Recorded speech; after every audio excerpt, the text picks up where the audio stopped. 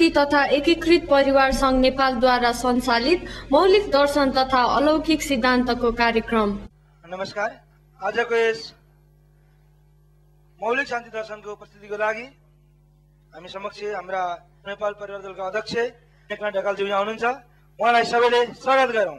नमस्कार सज्जन वृन्द पुनः यहाँहरूलाई आजको प्रस्तुतिमा म हार्दिक स्वागत गर्न चाहन्छु। विश्व शान्ति तथा एकीकृत परिवार सङ्घद्वारा आयोजित मौलिक शान्तिको दर्शन सेमिनारमा हामी उपस्थिति भएका छौँ र हामी व्यक्ति परिवार समाज राष्ट्र र विश्वमा नै शान्ति समृद्धि एकता सहअस्तित्व र सहसमृद्धि हासिल गर्नको लागि यस सिद्धान्तको अध्ययन गरिरहेका छौँ।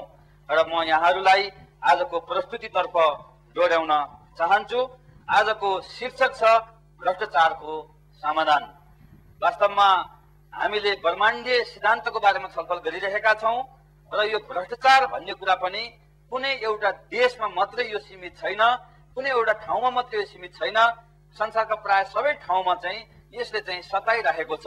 त्यस कारणले गर्दा आउनुहोस् अब हेरौँ कि मौलिक शान्तिको दर्शनबाट हामीले यसको अध्ययनबाट हामीले हाम्रो समाजमा विद्यमान रहेको हाम्रो राष्ट्र र विश्वमा विद्यमान रहेको विश्वलाई आक्रान्त बनाएको जुन एउटा मूल समस्या छ भ्रष्टाचार यसको समाधान गर्नको लागि यस सिद्धान्तको अध्ययनबाट हामीलाई कति सहयोग पुग्न सक्छ यसको बारेमा आज हामी छलफल गरौँ।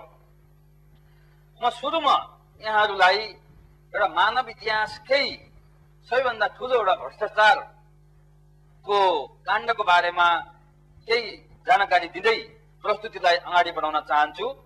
कि दुई हजारमा एक सय एघार अर्ब राजस्वको भ्रष्टाचार सन् दुई हजारमा यो भ्रष्टाचार चाहिँ नै संयुक्त राज्य अमेरिकामा भएको थियो।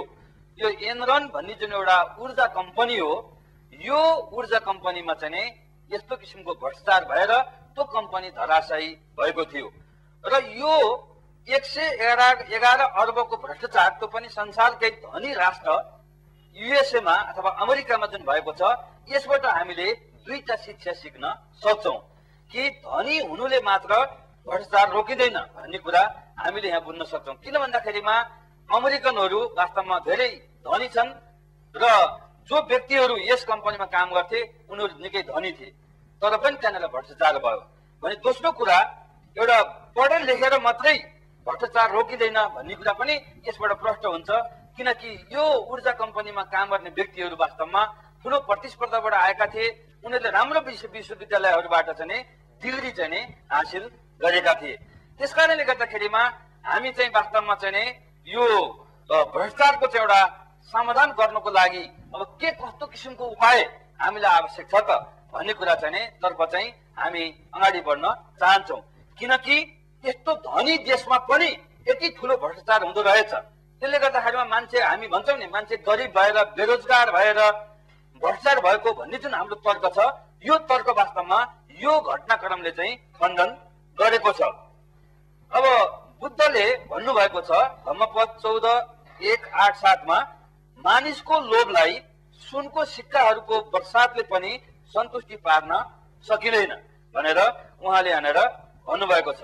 त्यस्तै अर्कै एउटा उदाहरण म यहाँनिर प्रस्तुत गर्न चाहन्छु अघि काण्ड हो। जुन चाहिँ वास्तवमा यो पनि युएसएमै भएको हो र यो बेनार्ड माडोफ भन्ने व्यक्ति हुनुहुन्छ उहाँ चाहिँ त्यो अमेरिकन स्टक एक्सचेन्ज जुन मार्केट हुन्छ त्यो मार्केटको चाहिँ पदाधिकारी हुनुहुन्छ र त्यहाँ चाहिँ धेरै ठुलो चाहिँ ठगी भएको थियो र उहाँले यस ठगी काण्डमा चाहिँ वास्तवमा स्वीकार गर्दै म क्षमा प्रार्थी छु र लज्जित छु भनेर उहाँले भन्नुहुन्छ कि यस वाल स्ट्रिटको इतिहासमै सबैभन्दा ठुलो ठगी काण्ड भनेर यसलाई चिनिन्छ जसमा पैँसठी अर्ब भन्दा बढी अमेरिकन डलर चाहिँ हिनामिना भएको थियो। र जसले गर्दाखेरिमा वास्तवमा विश्वमा जुन अहिले आर्थिक मन्दी अहिले आइरहेको छ यो चाहिँ युएसएबाट सुरुवात भएर यो इकोनोमिक क्राइसिस यसले चाहिँ संसाधन अहिले आक्रान्त बनाइरहेको छ। यसरी यहाँनिर भन्न खोजेको कुरा के भन्दाखेरिमा यो भ्रष्टाचार भन्ने कुरा चाहिँ यो सबै ठाउँमा व्याप्त छ। र यो भ्रष्टाचार जहाँ हुन्छ त्यहाँ शान्ति हुँदैन। त्यहाँ अशान्ति हुन्छ। हामी आज शान्तिको मौलिक शान्तिको खोजीमा छौँ र मौलिक शान्तिको दर्शनको हामी अध्ययन गरिरहेका छौँ। त्यस कारणले गर्दा पुनः अब हामी जानुपर्छ शान्तिको मार्ग चित्रभित्र। मैले पहिलो प्रस्तुतिमा पनि यो स्लाइड देखाएको थिएँ कि अबको प्रस्तुतिमा म यो शान्तिको मार्ग चित्र मध्येको पहिलो जुन एउटा चाहिँ नि मार्गचित्र हो जुन अरूको लागि जिउने अथवा मन र शरीर बिचको चाहिँ एकता कायम राख्ने कुरा हो। यसको विषयमा केन्द्रित भएर प्रस्तुतिलाई म अगाडि बढाउन चाहन्छु। शान्तिको मार्गचित्रभित्रको पहिलो सिद्धान्त ब्रह्माण्डीय आचरण हो। मानिसमा आचरण राम्रो भएन भने त्यो आचरण राम्रो नभएका व्यक्तिहरू समाज अथवा राष्ट्र अथवा अन्तर्राष्ट्रिय स्तरमा महत्वपूर्ण जिम्मेवारीमा पुग्नुभयो भने उहाँहरूबाट भ्रष्टाचार हुन सक्छ। त्यस कारणले गर्दाखेरिमा अब हामीले त्यो आचरणलाई कसरी सुधार्न सकिन्छ अथवा आचरण बिग्रियो भने आचरण राम्रो भएन भने कसरी भ्रष्टाचार हुन्छ भन्ने विषयमा चाहिँ हामी छलफल गर्नेछौँ र यो आचरण राम्रो हुनको लागि मन र शरीर बिचको चाहिँ नि एउटा एकताको आवश्यकता छ।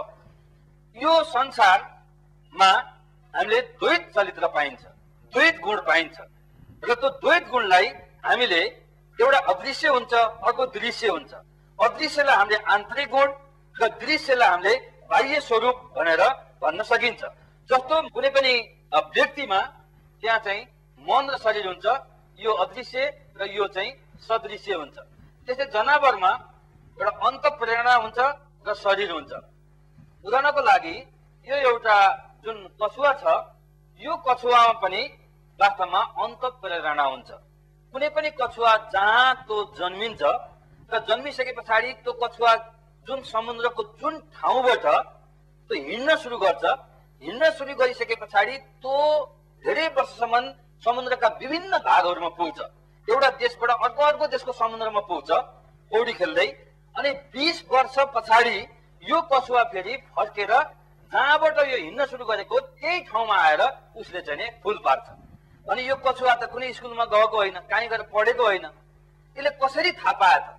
बिस वर्षसम्म समुद्रमा पौडी खेल्दै कहाँ कहाँ चाहिँ कति टाढा चाहिँ नि कति हजार माइल टाढा पुगेको कछुवा फेरि चाहिँ आफ्नो ठाउँ कसरी कसले सिकायो त भन्दाखेरिमा जनावरमा पनि के हुन्छ भन्दाखेरिमा अन्त प्रेरणा हुन्छ। त्यस्तै गरी बिरुवामा पनि आन्तरिक गुणको रूपमा वनस्पति मन र अनि शरीरको रूपमा चाहिँ बोट अथवा उसको चाहिँ शरीर हुन्छ। र जस्तो एउटा सूर्यमुखी फुल छ हामीले यसको सूर्यमुखी फुललाई हामीले देख्न सक्छौँ। यसको अन्त प्रेरणा के हुन्छ भन्दाखेरिमा जब सूर्य उदाउँछ अनि त्यो सूर्यमुखी फुल चाहिँ जता सूर्य उदाउँछ त्यतैतर्फ फर्केको हुन्छ। अनि सूर्य पूर्वमा उदाएर पश्चिममा अस्ताउँछ त्यस्तै गरी सूर्यमुखी फुल पनि पूर्वबाट घुम्दै घुम्दै घुम्दै घुम्दै अनि त्यस पछाडि पश्चिमतिर चाहिँ बेलुकातर्फ चाहिँ पश्चिमतर्फ चाहिँ फुल फर्केको हुन्छ। अनि कल्चरले गर्दा तालिम दिएको त होइन यो सूर्यमुखी फुललाई। किन भन्दाखेरिमा कसरी थाहा पायो त यसले भन्दाखेरिमा यसमा अन्त प्रेरणा हुन्छ। अनि त्यस्तै गरी अब निर्जीव वस्तुहरू सजीव वस्तुहरूमा त हामीले हेऱ्यौँ। निर्जीव वस्तुमा हामीले हेर्दाखेरिमा जस्तो कि अणु परमाणु कण यिनीहरूमा पनि वास्तवमा एउटा प्राकृतिक नियम र अनि शक्ति इनर्जी एन्ड म्याटर चाहिँ के भन्दाखेरिमा त्यहाँनिर हुन्छ। यसरी यो विश्व ब्रह्माण्डमा रहेका चाहे सजीव हुन् चाहे निर्जीव हुन् सम्पूर्ण वस्तुहरूमा द्वैत चरित्र पाइन्छ भन्ने कुरा मैले यहाँहरू समक्ष राखेको छु जसरी मानिसमा मन र शरीर हुन्छ। जस्तो अणु र परमाणुमा पनि प्राकृतिक नियम र संरचना हुन्छ जस्तो पानीको अणु भनेको दुई भाग हाइड्रोजन र एक भाग अक्सिजन मिलिसके पछाडि त्यहाँनिर के हुन्छ भन्दा के बन्छ भन्दाखेरिमा त्यहाँ चाहिँ पानी बनेको हुन्छ। र अब यो प्राकृतिक नियमले संरचनालाई सञ्चालन गरेको हुन्छ र अब यो यसको कोण यो पानी बन्नको लागि यसको कोण चाहिँ सधैँ एक सय चार डिग्री एक सय चार पोइन्ट पाँच डिग्रीमा चाहिँ त्यहाँनिर पानी बनेको हुन्छ। जहाँ लगे पनि सफा पानी पनि फोहोर पानी पनि होइन? हाम्रो देशको पानी पनि जस जुन जुन ठाउँको पानी पनि त्यहाँ चाहिँ दुई भाग हाइड्रोजन एक भाग अक्सिजन र त्यसको कोण चाहिँ एक सय एक सय चार पोइन्ट पाँच डिग्रीमा चाहिँ त्यहाँनिर पानी बनेको हुन्छ। यहाँ पनि के हुन्छ भन्दाखेरिमा अणु परमाणुहरूमा यस्तो हुन्छ। र यहाँ महत्त्वपूर्ण कुरा के छ भन्दाखेरिमा जुन यो मानवदेखि बाहेक अन्य जति पनि वस्तुहरू छन् यहाँनिर मानिस बाहेक जनावर वनस्पति अणु परमाणु कण यिनीहरूमा चाहिँ जे जति कुराहरू छन् यी सम्पूर्ण कुराहरू कसैले सिकाएको होइन। त्यो आफै चाहिँ के भन्दाखेरिमा त्यहाँनिर चाहिँ आफै जानेको हो अनि त्यस्तै गरी यिनीहरू बिचको चाहिँ जुन एउटा अन्त प्रेरणा छ त्यो पनि कसैले सिकाएर त्यो अन्त प्रेरणा चाहिँ आएको होइन। अघि मैले भनिसकेँ? त्यो कछुवालाई कसैले सिकाएर बाटो देखाएर तालिम दिएर बिस वर्ष पछाडि फेरि जहाँ ऊ हिँडेको छ त्यही ठाउँमा फुल पार्नको लागि आएको होइन। र यो आफैमा स्वचालित हुन्छ र यो चाहिँ यो चाहिँ एउटा त्यहाँभित्र एउटा कार्यक्रम पहिले नै त्यहाँ राखिएको हुन्छ त्यहाँ एउटा परिपाटी हुन्छ त्यहाँभित्र। भने अब योदेखि बाहेक जुन एउटा चाहिँ हामी मानिस छौँ। मानिसमा चाहिँ वास्तवमा सय प्रतिशत स्वतन्त्रता भएको कारणले गर्दाखेरिमा हाम्रो चाहिँ मन र शरीर बिचको सम्बन्ध र मानिस बाहेकका अन्य वस्तुहरू बिचको चाहिँ द्वैत चरित्रको चाहिँ सम्बन्धमा फरक छ। किन भन्दाखेरिमा चाहिँ अब यो जुन मानिस हो मानिसमा चाहिँ मन र शरीर बिचको एकताबाट नै त्यहाँ त्यो व्यक्ति चाहिँ ले समृद्धि हासिल गर्ने अथवा त्यो व्यक्तिमा चाहिँ असल आचरणको चाहिँ विकास हुन्छ। अब यहाँनिर चाहिँ त्यो मन र शरीर बिचको चाहिँ एउटा एकताको तालिम दिएर त्यहाँ उनीहरूको व्यक्तिगत आचरण सुध्रिने भन्ने कुरा हुँदैन। किन भन्दाखेरिमा यहाँ चाहिँ के हुन्छ सबै कुराहरू अटोमेटिक हुन्छ। स्वचालित हुन्छ यिनीहरूमा चाहिँ। तर मान्छेमा चाहिँ के हुन्छ भन्दाखेरिमा उसले सिक्नु पर्ने हुन्छ। उसले प्रयत्न गर्नुपर्ने हुन्छ। त्यस कारणले गर्दाखेरिमा हामी के गर्छौँ? हामी हाम्रो हाम्रो चाहिँ परिवारलाई पनि हामीले पहिलो पाठशाला भनेका छौँ। हामी त्यसपछि विद्यालयमा जान्छौँ अध्ययन गर्छौँ क्याम्पसमा जान्छौँ विश्वविद्यालयमा जान्छौँ। किन भन्दाखेरिमा हामीमा प्रयत्नको आवश्यकता छ हामीमा क्रियाशीलताको आवश्यकता छ हामीमा अध्ययनको चाहिँ आवश्यकता छ अनुसन्धानको आवश्यकता छ अनि हामीमा त्याग र बलिदानको आवश्यकता छ। त्यसको माध्यमबाट मात्रै हामीले मन र शरीर बीच एकता कायम राख्न सकिन्छ। हामी भ्रष्टाचारको चाहिँ भ्रष्टाचारको समाधान कसरी गर्ने भन्ने कुरा गरिरहेका छौँ।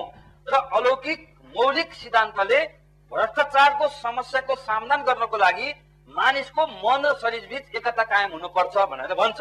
त्यस कारणले गर्दा मन र शरीर बीचको एकता कायम गर्नु कति महत्वपूर्ण छ भन्ने कुरालाई जोड दिनको लागि मैले यहाँहरू समक्ष प्रस्तुति गरिरहेको छु। जस्तो कि अब हामी ऐनामा गएर हेरौँ भने हाम्रो तस्बिर जस्ताको तस्तै हामीले यसरी देख्न सक्छौँ। हाम्रो मन यो चाहिँ माथि हुन्छ र हाम्रो चाहिँ जुन एउटा शरीर हो यो चाहिँ तल हुन्छ। हामी उभिँदाखेरिमा हामीले यस्तो देख्छौँ। यो मन चाहिँ के भन्दाखेरिमा यो सार्वजनिक हो। त्यस कारणले गर्दाखेरिमा घाँटीभन्दा माथिको भागलाई हामीले छोपेका हुँदैनौँ। यहाँ हाम्रो शरीरका पाँचवटा भौतिक ज्ञानेन्द्रिय मध्ये वास्तवमा चारवटा र एक किसिमले भन्दाखेरिमा छाला पनि हुन्छ यहाँनिर। पाँचवटै ज्ञानेन्द्रियहरू हामीले यहाँनिर देख्न सकिन्छ यहाँनिर हुन्छ। भने शरीर चाहिँ नि एउटा व्यक्तिगत कुरा हो। त्यस कारणले गर्दा शरीर चाहिँ हामीले पूर्ण रूपमा छोप्छौँ यो चाहिँ एउटा के हो भन्दाखेरि एउटा प्राथमिकता हो।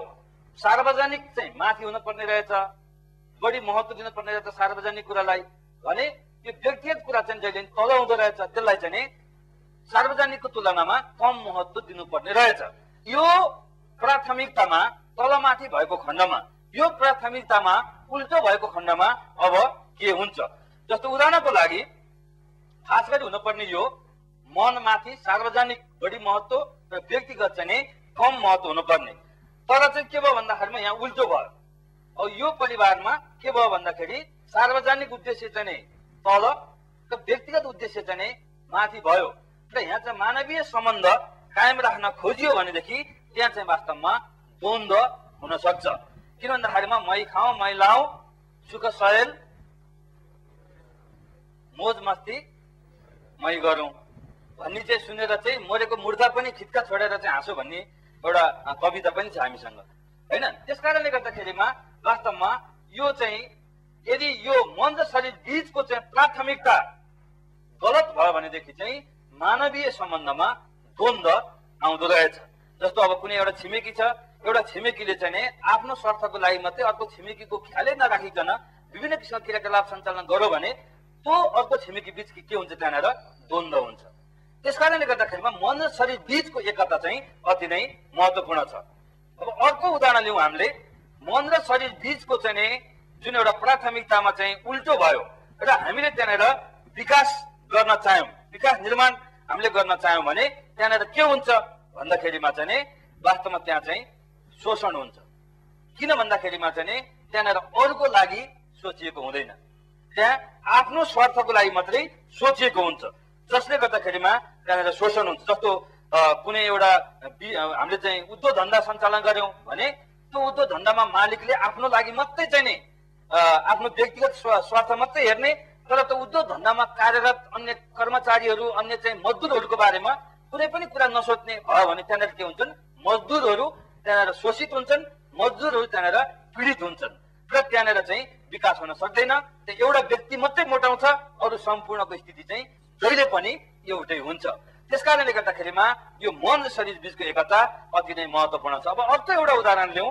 यदि मन र शरीर बिचको चाहिँ प्राथमिकतामा उल्टो भएको खण्डमा सार्वजनिक हित तल र व्यक्तिगत हित माथि भएर कसैले व्यापार सञ्चालन गर्न गर्न खोजेको खण्डमा त्यहाँनिर के हुन्छ भन्दाखेरिमा भ्रष्टाचार हुन्छ।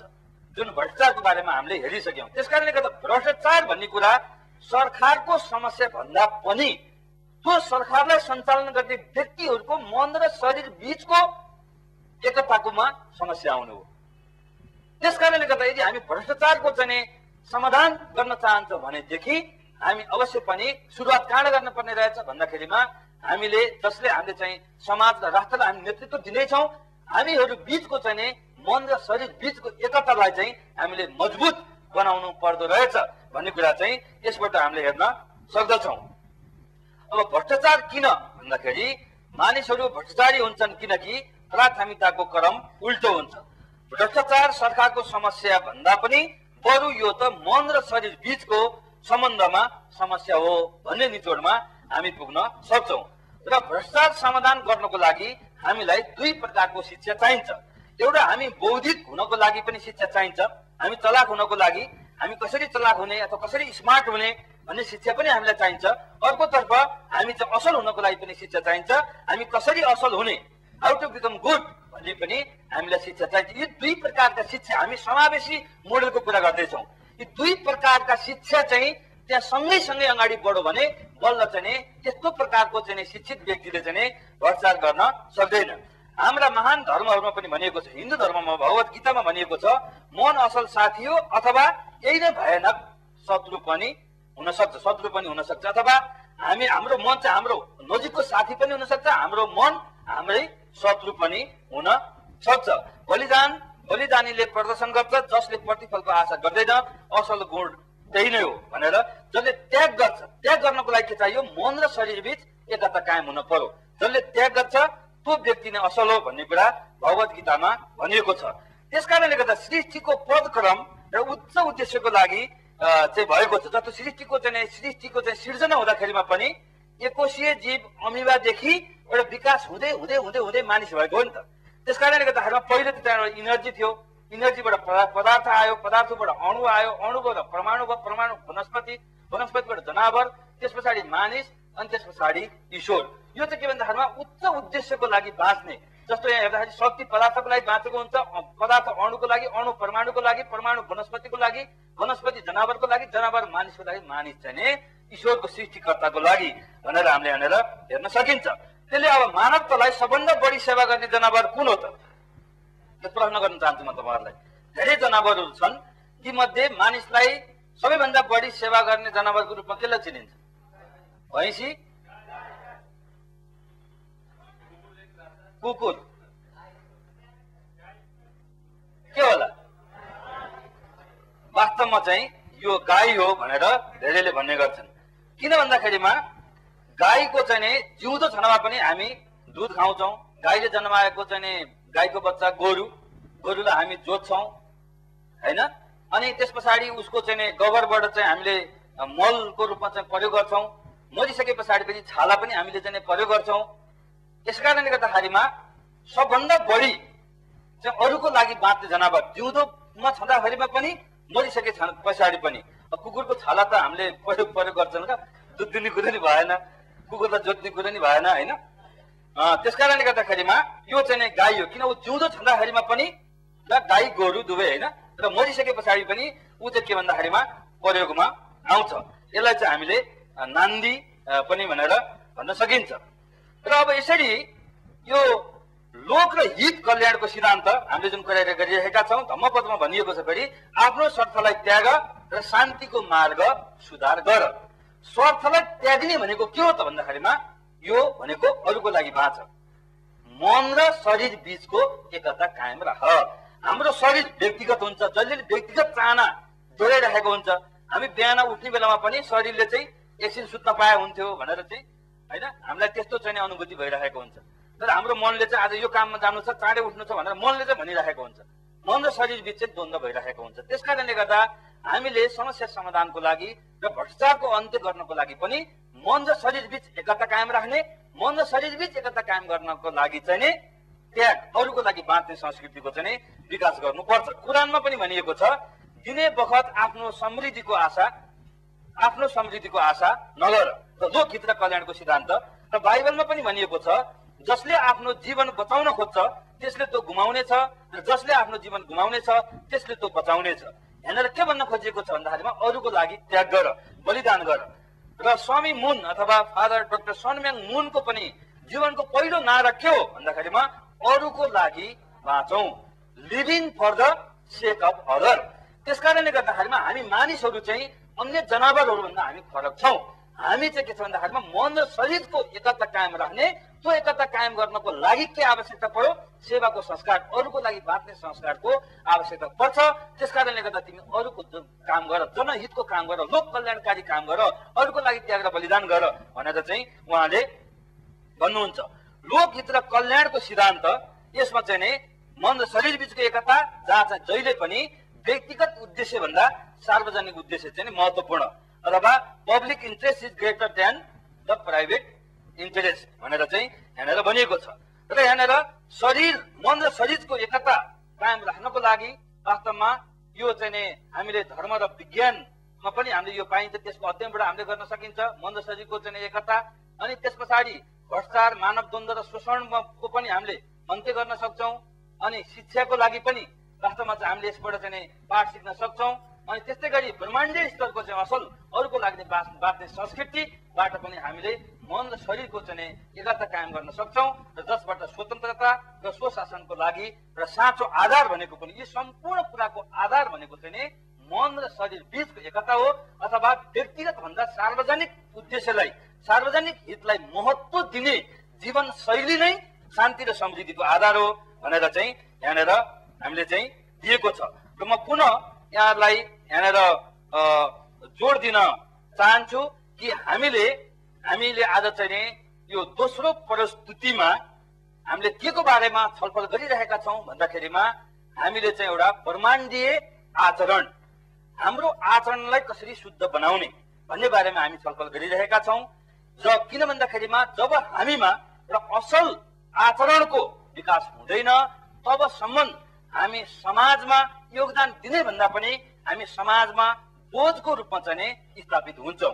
त्यस कारणले गर्दाखेरिमा हाम्रो चाहिँ एउटा आचरणलाई शुद्ध बनाउनको लागि हाम्रो आचरणलाई एउटा ब्रह्माण्डीय आचरणको रूपमा विकास गर्नको लागि हामीलाई अरूको लागि बाँच्ने संस्कारको आवश्यकता रहेछ त्याग र बलिदानको चाहिँ आवश्यकता रहेछ।